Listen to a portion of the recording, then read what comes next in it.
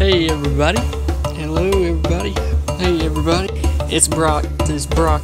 And we got a new episode with another episode of All About. Of All About. All About. What's up everybody? It's Brock and we got a brand new episode of All About. Today we're learning about a very cool goby. These are called court jester gobies, or as other people like to call them, the Rainford gobies, or in other words, the Old Glory. So prices on them, you normally shouldn't spend too much. They start out at about $18 when they're small. Get up to about 24 if they're a little bit bigger. Tank size, these are really good fish to put in nano cubes. People that do those little nano tanks with reefs in them, they always try to put these in there because they're very good in small tanks. They can be as little as a 10 gallon, so they can definitely do well in your tank. Care level, they are moderate, and the main reason why is because they're very finicky eaters but they do captive breed them now. And so if you can try to get a captive bred one and it'll make life a lot easier on you. You'll be taking care of a super easy fish rather than taking care of one that might not eat. Tipper, they are all super peaceful. They are actually pretty shy and timid. They are pretty frightened by like anything. So you'll definitely see them run back inside the rock to hide a lot of the times. Reef safe, yes, they are a great reef fish. That's pretty much the best kind of tank to put them in. That's what they're used to in their environment. Temperature, you want to keep it 72 to 78, DKH 8 to 12, pH 8.1 to 8.4, and your salinity 1.020 to 1.025. Everything's basic there. Max size is about 3 inches. Colors on them, a lot of times they either have a really white body or a light blue body with these really pretty orange stripes running all the way down them. Diet, they are omnivore.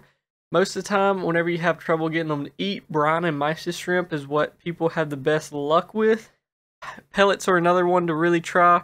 And then flake food's probably like your last thing they would probably eat. But getting, like I said, getting a captive bred one, they're a lot more used to eating. If anything, ask your shop that you're buying it from, or if you're buying it online, ask them what they're feeding them, and it'll really help you out.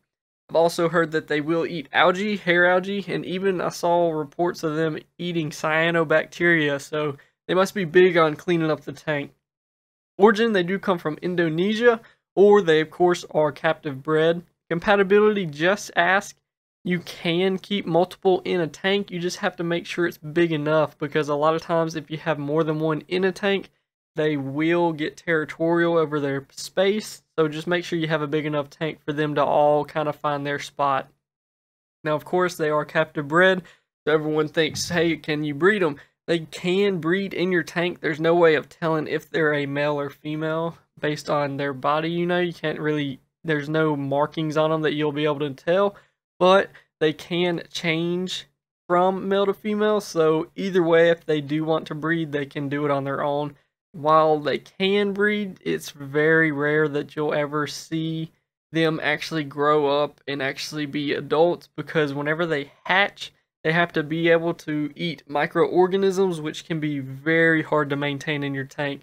So most of the time you'll see the little bitty fry running around and then they really don't last much longer than that. Make sure you give them plenty of hiding places, have a really nice rock structure for them to go back under because they will pretty much get scared by stuff just flying by, you walking up to the tank, anything like that will definitely make them dart back. Make sure you don't put these guys with any aggressive fish. A lot of times they can be bullied and they are not one to stick up for themselves. So make sure you put them with other peaceful fish.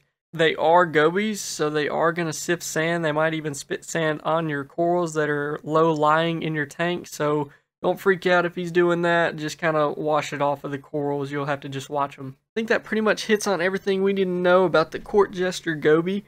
They are a lot hardier if you do get the captive bred ones, so I would definitely look around and see if you can make sure you get a captive bred one and you won't have to worry about them not eating.